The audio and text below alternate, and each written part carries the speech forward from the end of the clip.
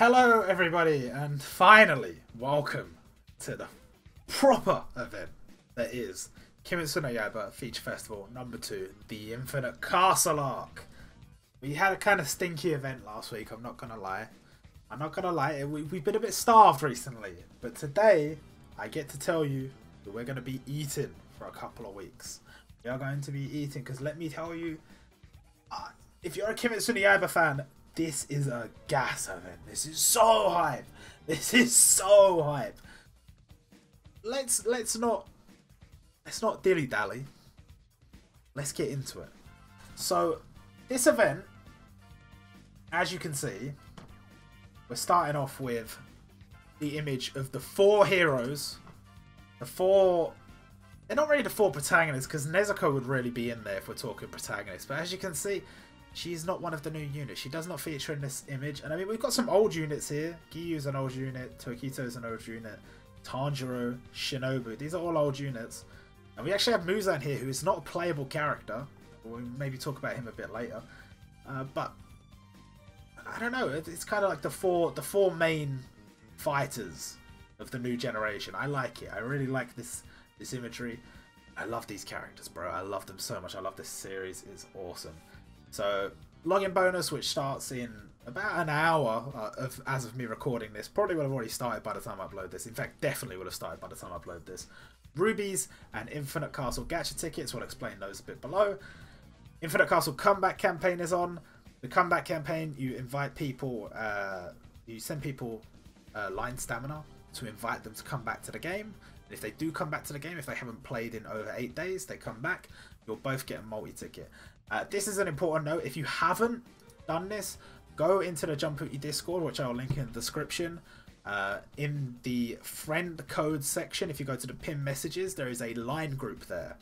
Join that line group and add everybody in that line group. You don't need to get people to add you back. If you add them, you will appear on their list and they will appear on your list. And if you do that, then you can send stamina to all the people in there. And if any of them come back, happy days, happy days. And not to mention, you should be doing that anyway because you should be sending stamina to your fellow players and they will be sending it back to you as long as you continue to play every day.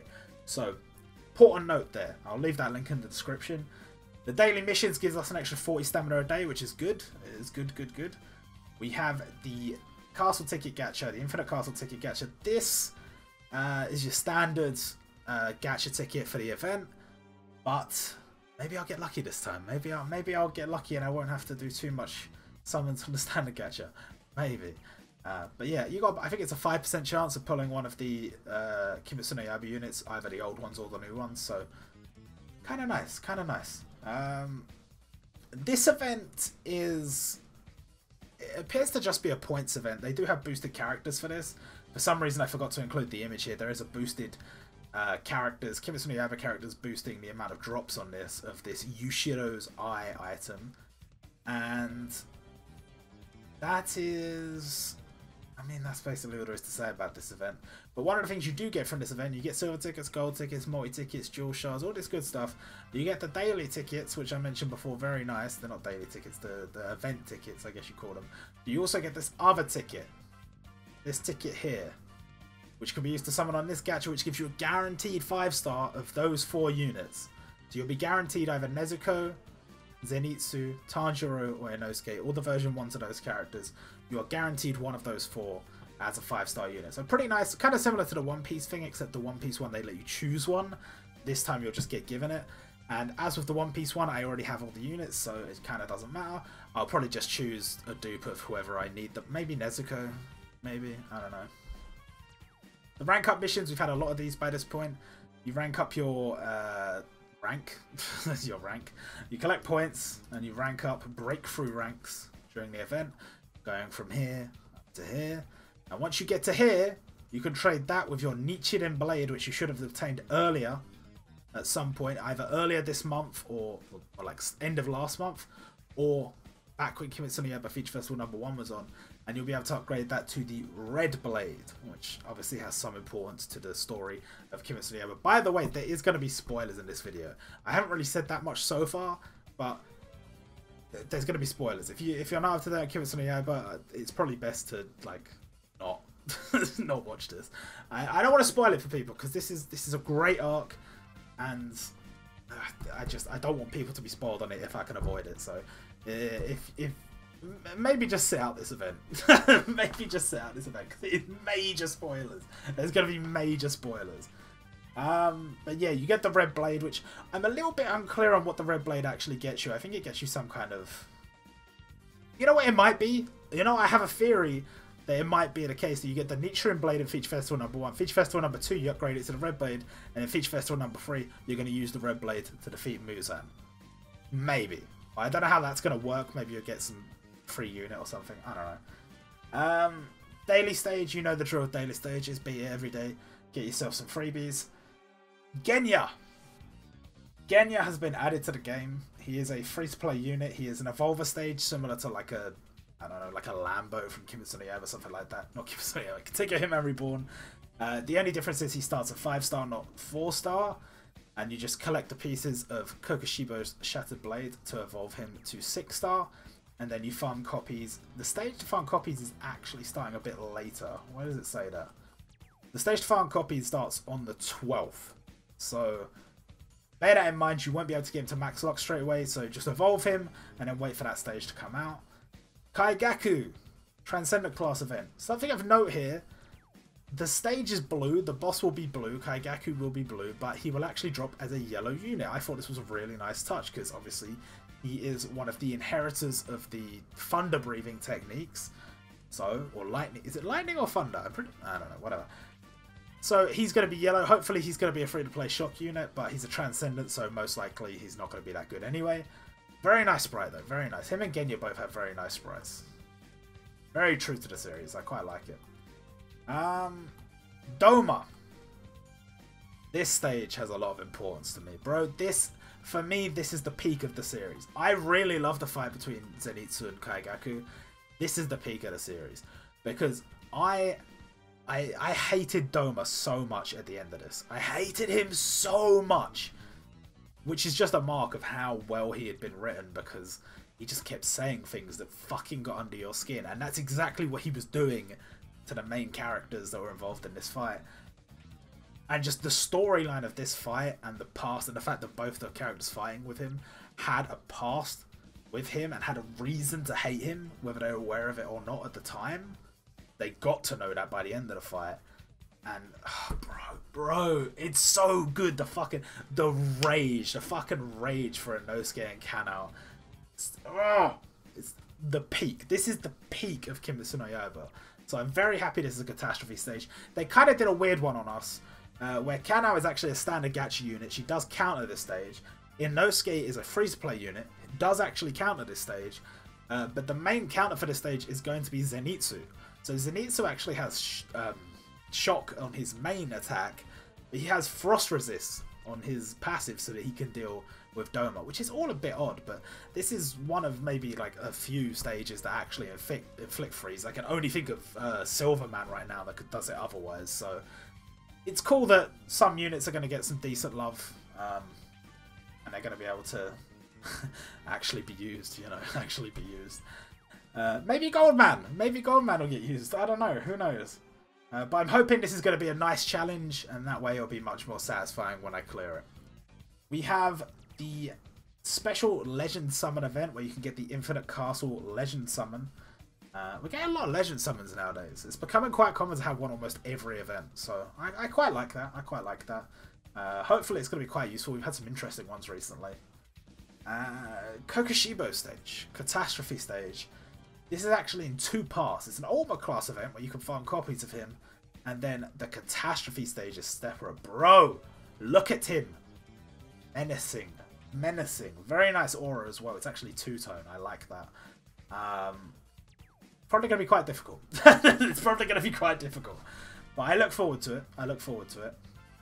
And one thing they're doing in this event that I find very interesting is a 100% drop rate boost at the end of the event. So the way this works is, say for example, Kaigaku.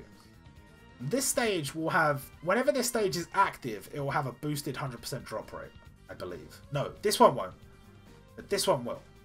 So these stages, if you open them with keys, will only drop one copy of the character. But if you open it when it's not with keys and it's just in its regular rotation, it will drop two copies of the character because it's a 100% boost rate. Up here, you don't get the 100% boost if you open it with keys or not. Now, that's going to be double drop on what you would normally get, and this is going to be triple drop on what you would get if you opened it with keys. So you'll actually get three copies of the characters every time you beat it. So, probably a good time to get some uh, jewel droplets, or what are they called? Event droplets. Uh, beating these stages. Whichever one you find easiest, I guess. Um, whichever one of the catastrophes you find easiest, or the ultimate class stages. Kind of cool. A nice way to get people to finish up the event at the end. You can go and you can go and beat it. Pretty good. Uh, limited gacha Zenitsu. I don't know.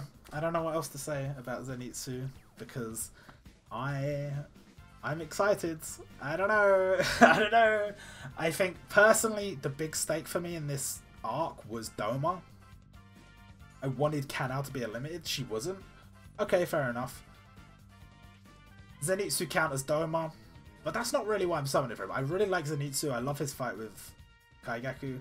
And his skill set's kind of kind of cool. He's kind of sort of a yellow version of Tanjiro. And you guys know how much I love Tanjiro. So kind of cool. Is I'm, I'm looking forward to seeing what I can do with him. I'm definitely going to be summoning for him. The way things have worked out, I'm probably going to summon for him and do a video on that. Um, but if I have the opportunity, if the rubies will allow it, I will also be summoning for the second limited, which is Yoriichi. He doesn't come out until the 11th. I am going to be streaming on the 11th, which is next Wednesday. Uh, so look, uh, we might be summoning for we might be summoning you for Yoriichi on stream.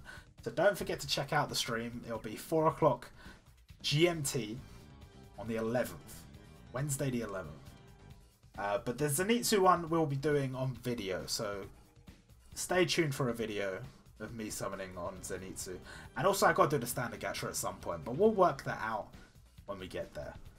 Uh, but yeah, Yoriichi I don't know if I'd say it was a surprise. I don't think it was a surprise.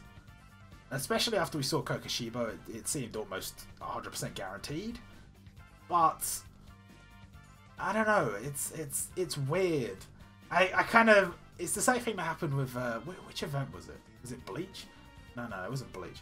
One of the events, I was like, wow, we actually don't have the protagonist in this one. I think it was Gintama. We didn't have a new Gintoki. It's like, oh wow, we actually don't have a new Gintoki. And in this event, we don't have a new Tanjiro. I really thought we were going to get one. But Yoriichi makes sense as a limited. I'm just glad he's not a Muso because I wouldn't have been able to afford it.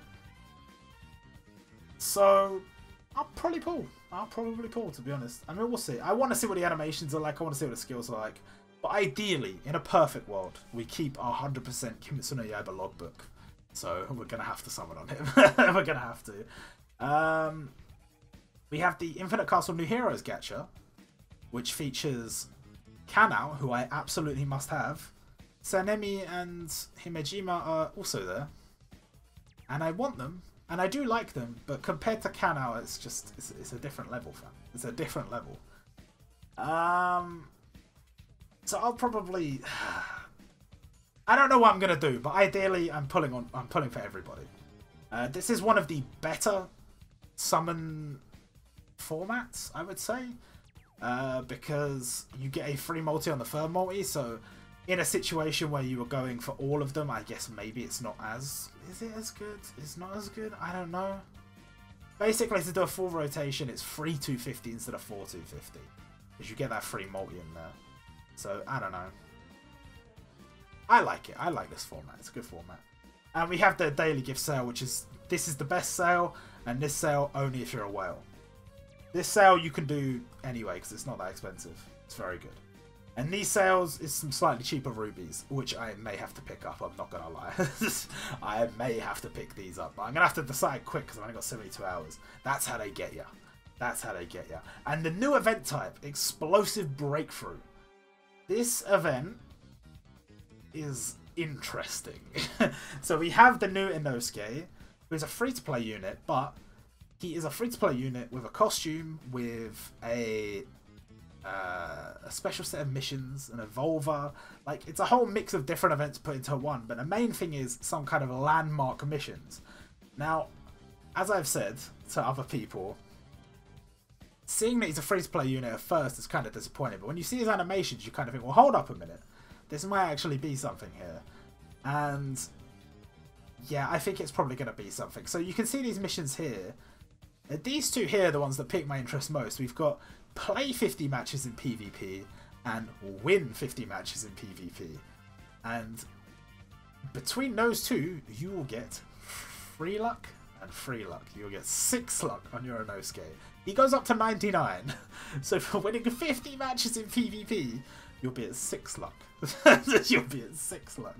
Now, I don't think all the missions are related to PvP. There's a load of other stuff. But I think the idea is this is something you work on over time you'll have like a certain task and it's like okay i need to reach this task i need to clear this many stages or do this many things whatever so i'm interested to see if we get more of these in the future i think we probably will I, I don't know how long these event periods are going to go for how long you're going to have to do the missions they're probably going to be quite lenient with it uh, but it looks cool Inosuke sprite looks cool i'm intrigued by this event now in terms of other stuff because that's pretty much the end of the main news we also have, if I flip over to my other window, where is it? Mm, there we go. We also have a look at some of the other banner images. So obviously we've seen this one, and we've this one's interesting. Zenitsu originally didn't have his yellow Haori on his limited. This is the one we've got now, and this is the one we used to have, or what would have happened before. Interesting at least i would say. Interesting. Um, not that interesting though.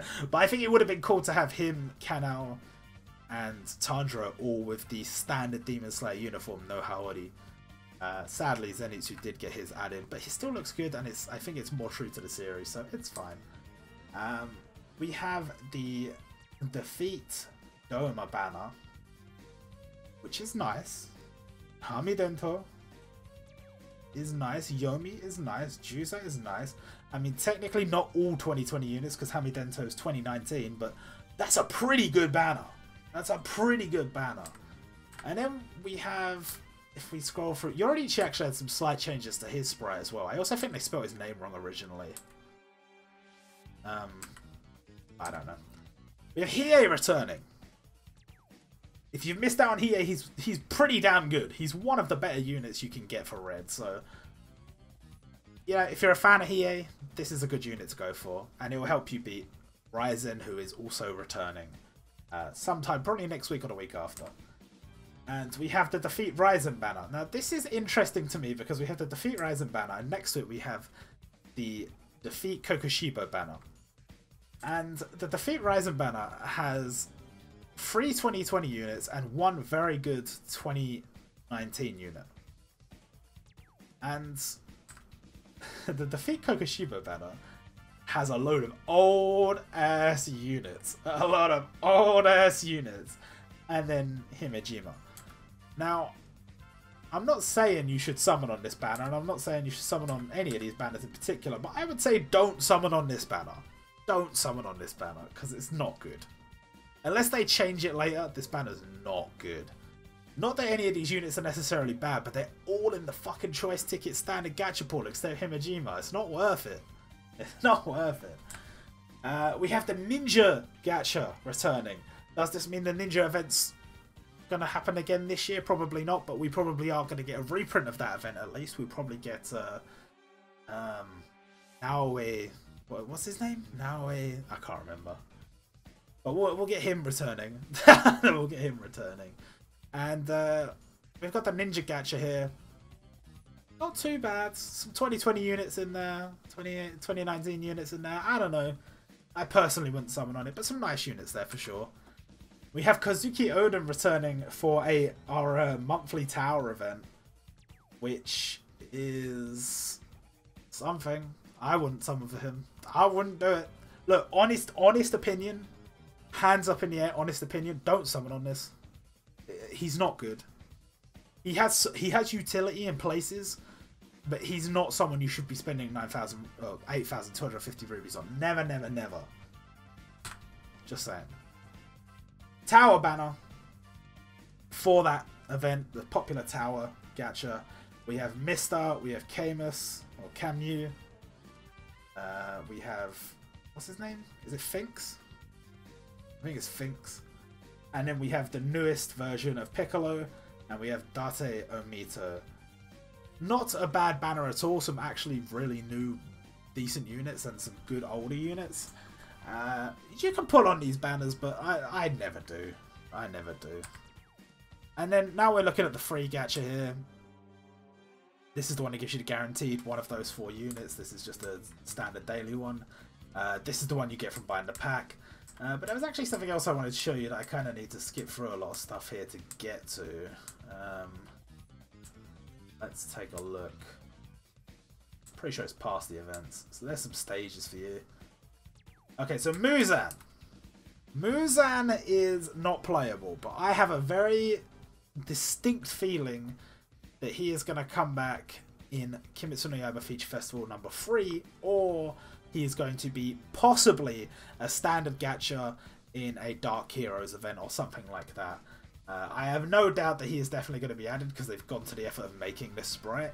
And Muzan is a very popular character. They made a version of him a limited that I maybe don't think should have been a limited, but they still made him a limited.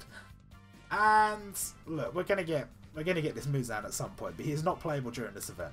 And I think he is one of many things that's been saved for Kimetsu no Yaiba Feature Festival number three, which will either be a mixture of events from throughout the series, or it will be focused on the final battle against Muzan, one or the other. Um, what else do we have? Let's take a look. We've got to scroll for a little bit here because...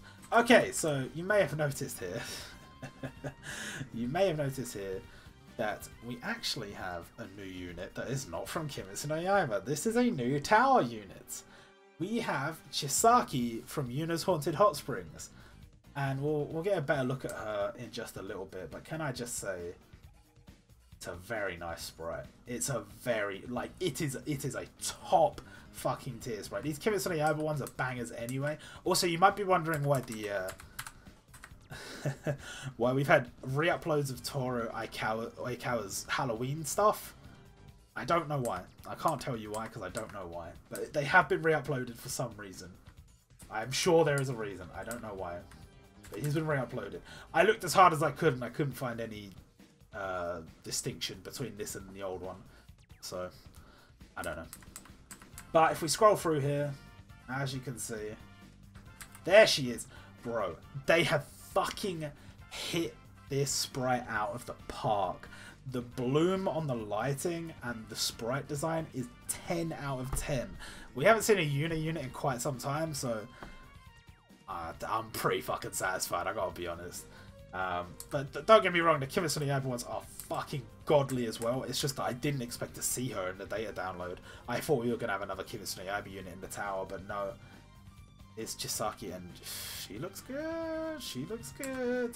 Um, now I need to get down to the items because there is an important item we need to talk about. I'm just going to have to quickly pay through some of this stuff, which is not very good video, but it is what it is. Uh, let's see. So we have the Kimetsu no Yaiba multi-ticket. I have no idea what this is. I can't seem to find a banner that it's attached to. I assume it guarantees you a Kimetsu no Yaiba unit in like from your multi. I don't know. I, I, I don't know. But there, there doesn't appear to be any other information on it, so fucking I guess we'll see. I guess we'll see. Um, but the other thing I wanted to talk about is right at the end of these, I believe. And that is this. This item I originally thought was a limit break door, but after doing a bit more research, it appears to be something you trade in at an event store. So what the fuck is it? well, that's a good question. Uh, from what I can tell, obviously, like I said, it's uh, some kind of event item. But we have a translation here. Now, don't get me wrong, this might be wrong, but this is... I got this from a, a proper source. Um, it appears to be B, which means something along the lines of beautiful, very satisfactory, good, to beautify, to be pleased with one. So that's what the official translation is here. Uh, thinking of the B in bishojo, something like that. So,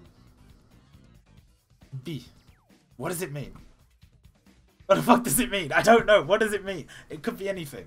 Um, now, I don't want to get too gassed up because a lot of the time we've seen stuff like this and it's ended up being one of the most mundane things it could possibly be.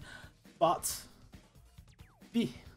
Now, one thing I did consider is what if maybe Chisaki is not the new tower unit and you get her from some kind of event store and you trade in for her, or she is a tower unit but it's some kind of tower event unit. We've had tower event units before, and you have to collect these doors and trade them in for her. That's also a possibility.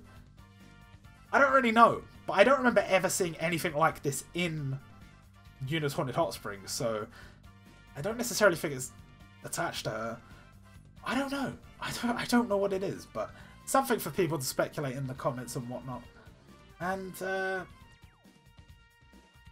yeah. I guess that's going to do it for this video. I hope you guys enjoy. And uh, next next next video is probably going to be summons and probably some despair. I don't know. But until then, I'll see you guys next time.